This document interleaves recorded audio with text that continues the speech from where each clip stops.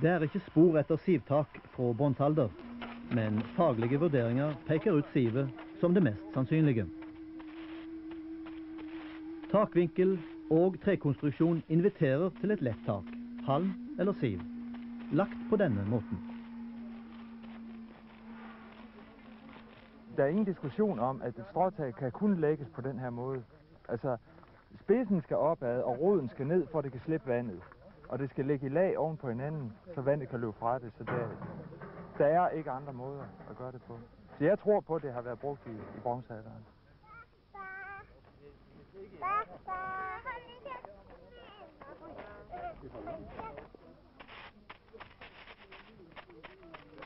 Vi har lagt op til at publikum skal være med på bygginga nærmest helt fra, fra første dag.